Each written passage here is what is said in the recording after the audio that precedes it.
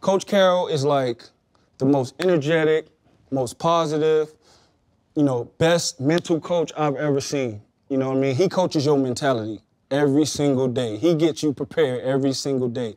Championship football, like practice is you going at your defense every single day. It's no days off. And so when when you got a coach like that who's like preparing, he's breeding you for success. He's preparing you to play championship football.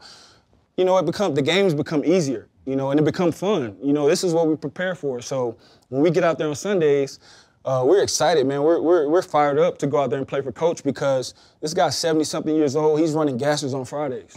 You know what I'm saying? Like 400 yard gassers on Fridays in the big Pete shoes. You know what I'm saying? Like really getting it. And it's like, you see somebody like in the monarchs, and you see somebody doing that, and you, you know what I mean? Like you're like, man, come on now, you gotta go run through a wall for this dude. You gotta do it.